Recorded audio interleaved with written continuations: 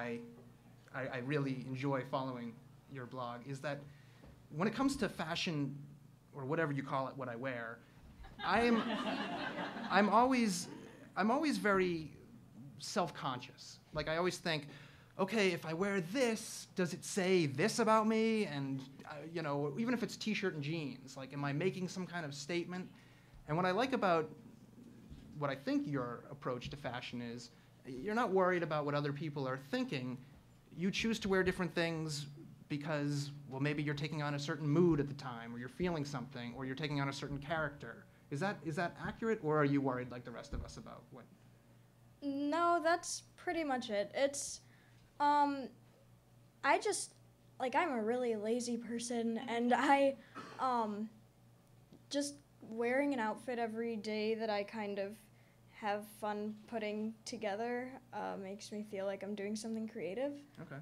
Um, to, I mean, it's like I just started high school this year, and um, it's harder to maintain that I don't care what people think thing, but like, like today I was walking home from school and I was wearing uh, a blue wig that I took off because it's hot, but um, and these kids drove by and they rolled down their window and they were like, "Nice hair," and but it was kind of good fuel. Did you say though. stylerookie.com? No, I think I smiled at them, but I was also like angry walking through the snow. But um, but it's kind of really good fuel when people uh, are kind of challenge you because I think that I don't know if Well, what everyone. are they wearing? Are they wearing Abercrombie and Fitch? I don't. I, they were in a car, but I don't know. Um, it's good for creativity though when you feel like you're confusing people. This this might sound creepy, but what what do high school kids wear these days? Um, um,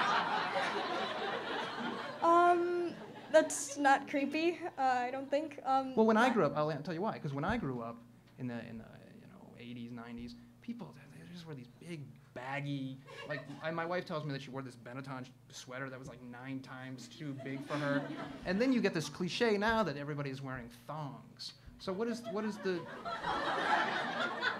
I don't really know how many of my classmates are wearing thongs, but um, I, my school is really big, so there's kind of like, like, a variety of people, but um, I think a lot of Urban Outfitters right now. okay?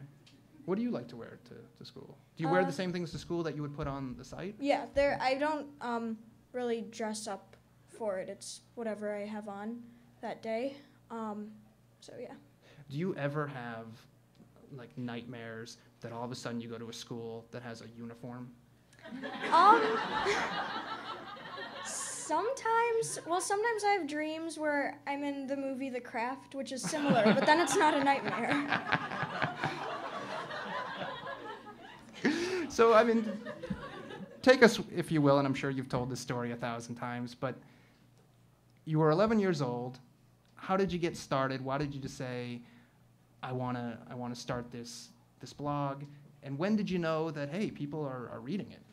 Um, well, my friend's older sister had a blog, and I admired her, like, cool older girl in high school. Whoa. And, um, I, she kind of told me about a few blogs that she read and different fashion magazines she liked.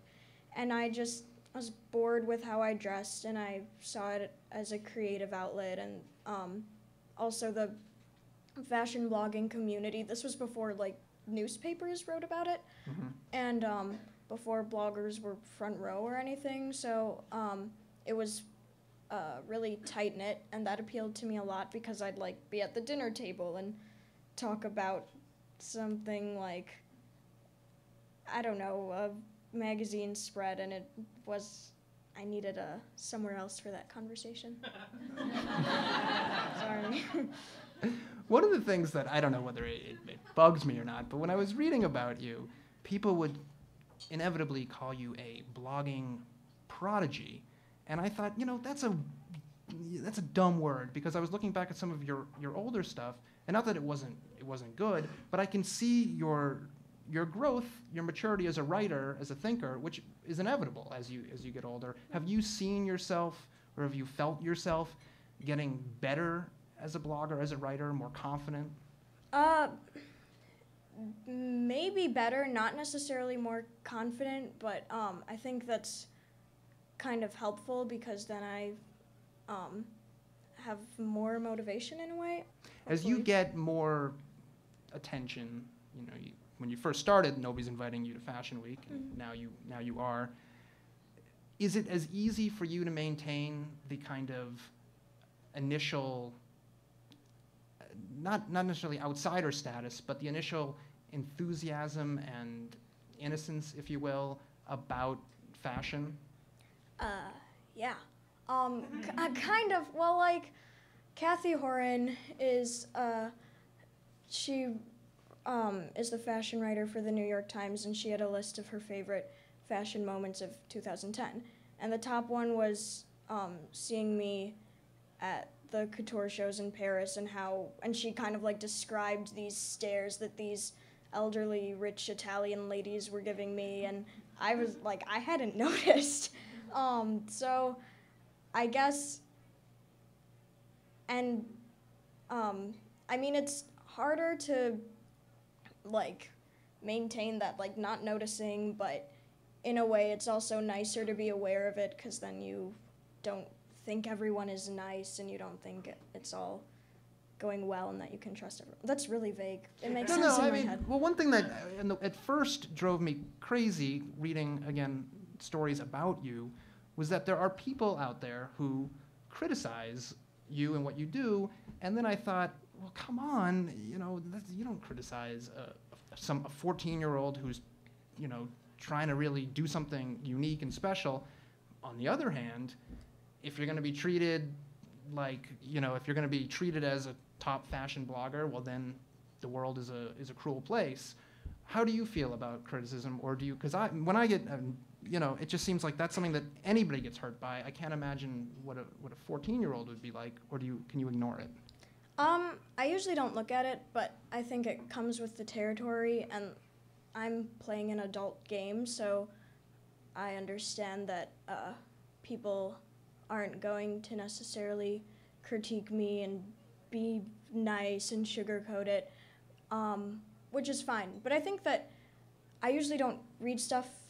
Um, if I come across it, I just like keep scrolling because even if it's positive, it changes the way you think and you kind of become more aware that there's another set of eyes and i think that you have to become one thing i've adjusted to is that you become like um, you act as the symbol for people.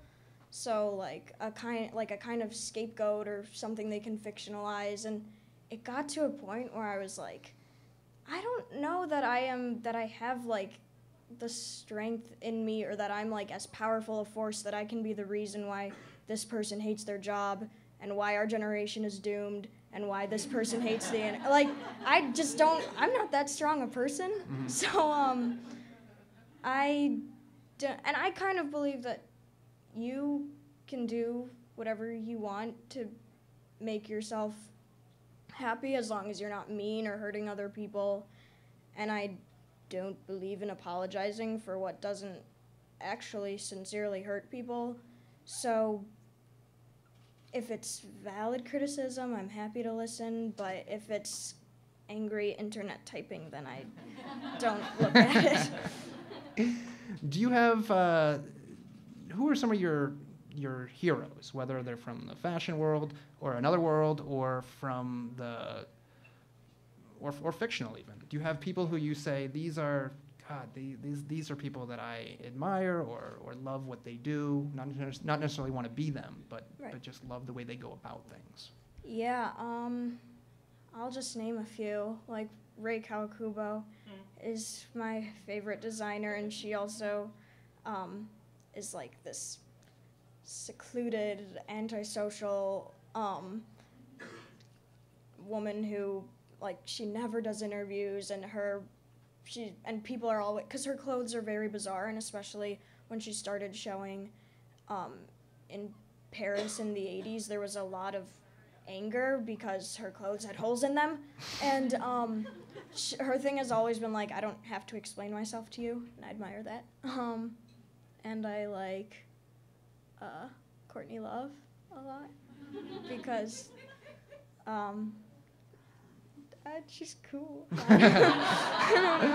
But one thing's right. I mean, like Courtney Love is somebody who, you know, when I was in college, that's when she was really was really big, and you have got a great. You've got a great kind of historical. You're not just in the here and now. You've got a great depth of knowledge about what has come before, which is unusual, I think, for a lot of people in their in their teens. Are there decades that you find that you particularly love? You loved what went on during a certain time.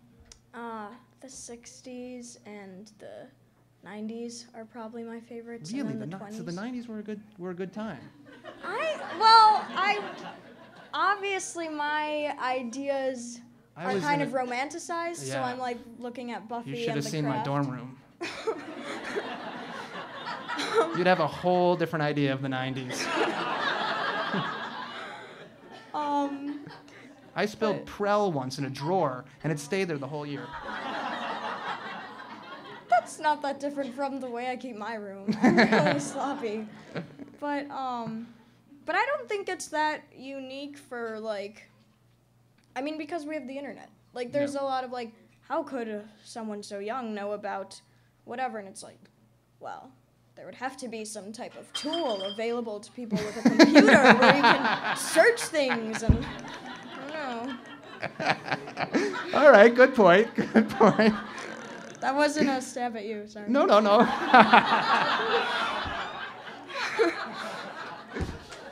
so I forgot. I got to congratulate you, and I, I guess it's kind of a little bit older news, but you've got a magazine in the works with Jane Pratt. the Yeah. Sass- What? yeah. What? What did uh, What did Sassy bring to the table, and what do teen magazines now don't do that they should be doing? Okay. Um, well, the thing with Sassy, I Sassy.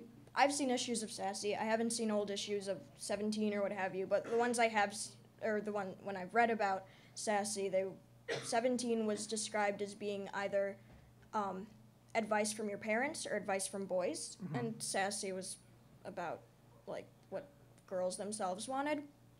Um, I think now, when it comes to teen magazines, um, I mean they're they've improved a lot since then, and there are components of Sassy that you see in like 17. Like now they have options for different body types and stuff. But um, I think a really important thing is that um, like body image is still such an issue, and I read somewhere the other day like it was somewhere in the mid 90s, and it was like.